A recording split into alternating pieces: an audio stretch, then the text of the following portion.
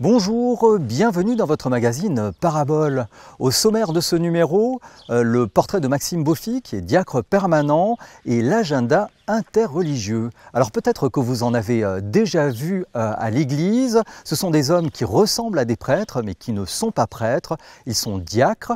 Alors pour savoir exactement ce que c'est, je vous propose de regarder le portrait que nous avons fait pour vous de Maxime Boffy. On va aller porter la bonne nouvelle montrer qu'il y a des diacres aussi, qu'il n'y a pas que des, prêtres. Rappeler la mission du prêtre à travers ma présence aussi. Et puis, euh, et puis voilà quoi. Ça, tranquillou. tranquillou, c'est l'expression fétiche de Maxime Boffy. Il a 40 ans et il y a 5 mois, il a été ordonné diacre permanent. Ici, dans sa paroisse mulhousienne, il assiste le prêtre. Il peut baptiser, enterrer ou encore marié, mais il ne peut pas célébrer une messe dans laquelle l'hostie est distribuée, ou encore il ne peut pas confesser. Autre particularité, Maxime est marié avec Jessica et ils ont trois enfants. La jeune fille au micro, c'est Justine, sa fille. Sa réaction lorsqu'elle a appris que son père allait être ordonné a été assez étonnante. Ça a pas mal interrogé bah, moi, mes enfants aussi. Les enfants, ils ont carrément demandé, notre fille Justine a carrément demandé à son papa si le jour où il sera ordonné diacre, s'il fallait qu'elle le voie. Donc c'était mignon. Le jour de l'ordination, à la cathédrale de Strasbourg, toute la famille est présente. Maxime, lui, est concentré, mais pas forcément stressé. Aujourd'hui, c'est vraiment un grand jour et puis euh, moi, ça me rappelle un petit peu ouais, comme lorsque je me suis marié avec Jessica. voilà, c'est un peu dans, le même état d'esprit, ça y est, euh, un engagement pour toute la vie. Et vraiment, très heureux d'y aller et sûr, sûr de moi aussi. Maxime et les quatre coordinants attendent ce moment depuis cinq ans. C'est le temps qu'il a fallu pour les former.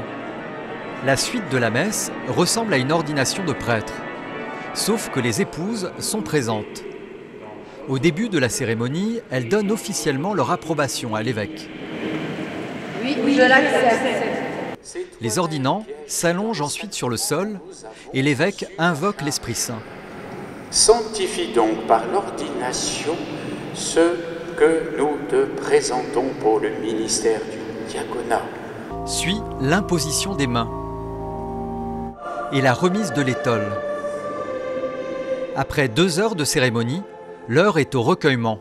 Ça y est, on y est, on y est arrivé. Et ça nous a vraiment fait plaisir, euh, tous ces témoignages aussi euh, de la part de tous les autres diacres, de nos familles qu'on va les retrouver maintenant. Et puis, euh, non, non, vraiment, super moment.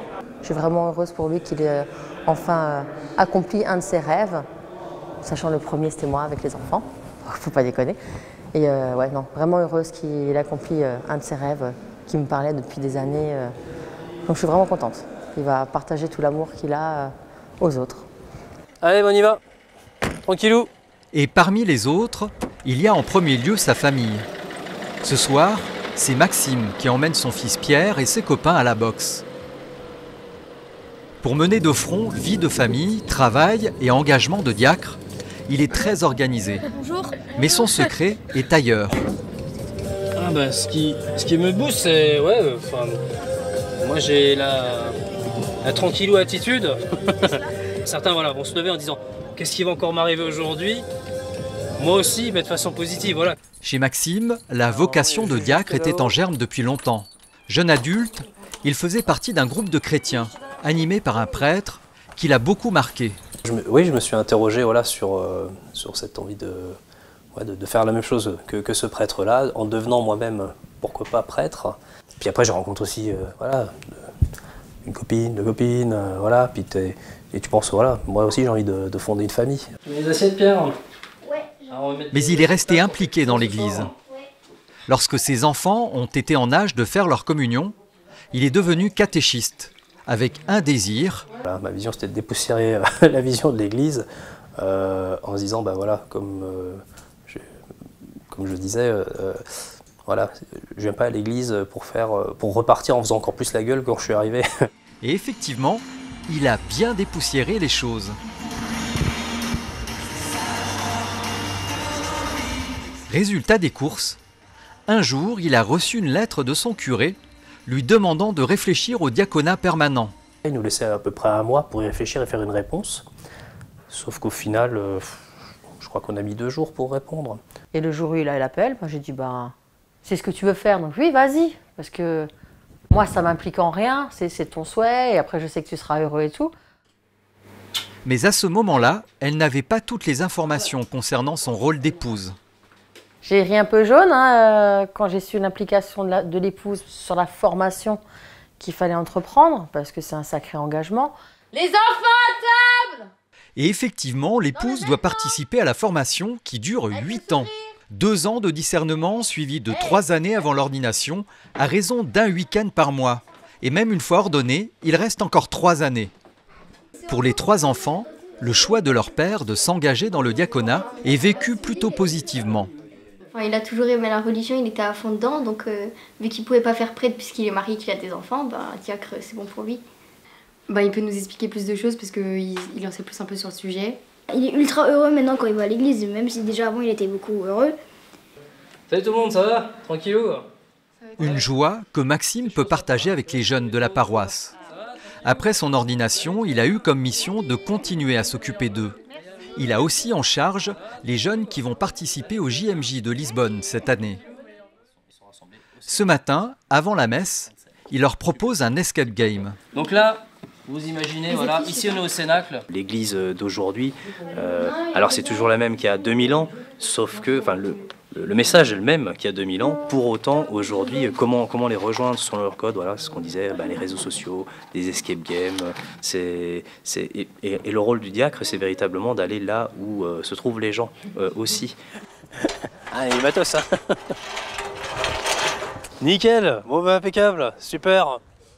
Et là où sont les gens, c'est aussi au travail.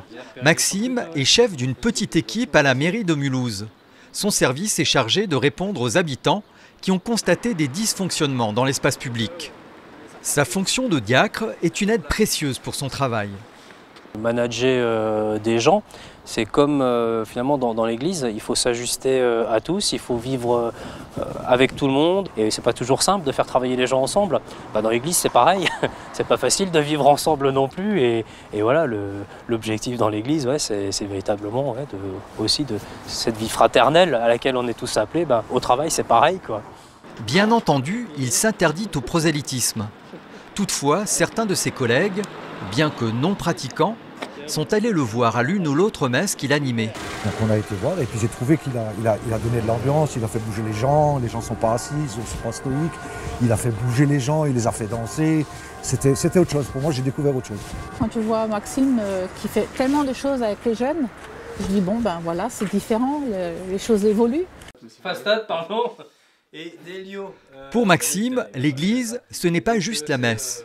Chaque dimanche, il invite des paroissiens chez lui pour ce qu'il appelle des after-messes. C'est dans cette ambiance qu'il compte vivre sa mission. Aujourd'hui, moi j'ai plein d'énergie, j'ai de l'énergie à revendre, donc euh, bah, je donne tout ce que j'ai parce que euh,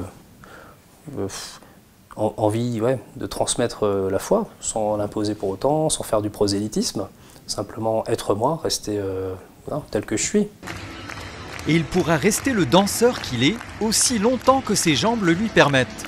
Toutefois, sa lettre de mission pourra être réévaluée quand il aura atteint ses 75 ans. Et effectivement, il a de l'énergie à revendre. Alors je vous propose de passer tout de suite à notre agenda interreligieux. Commencé le mercredi 22 février, le carême se poursuit jusque dans la nuit de Pâques le samedi 8 avril. Pendant 40 jours, les chrétiens sont invités à vivre un temps de conversion, de partage et de prière. L'amitié judéo-chrétienne de Strasbourg organise une conférence sur le thème La ligature d'Isaac. Michel Deneken, président de l'Université de Strasbourg, et le rabbin Rébibo proposeront une interprétation à deux voix de ce fameux récit biblique. Une conférence donnée au FEC le lundi 13 mars à 18h. La médiathèque protestante du Stif propose une conférence à l'occasion de la parution du livre La Concorde de Leuenberg, 50 ans de communion ecclésiale. Cette conférence sera donnée à deux voix par André Birmelet, auteur de l'ouvrage, et Marc Liénard, un des deux rédacteurs luthériens du texte de la Concorde. Une occasion de mieux comprendre la signature en 1973 d'un accord historique entre les églises luthériennes et réformées, le chemin parcouru depuis 50 ans et les pistes pour l'avenir. Une conférence donnée au Stif le jeudi 23 mars à 18h. Voilà, c'est la fin de notre émission. Merci de nous avoir suivis et à bientôt.